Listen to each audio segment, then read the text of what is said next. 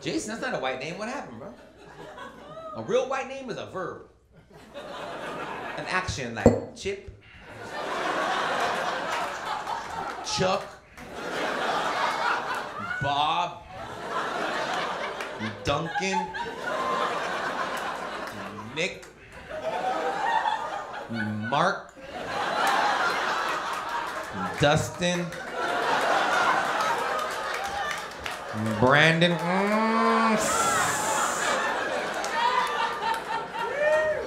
Skip, Rob. You can't Jason anything.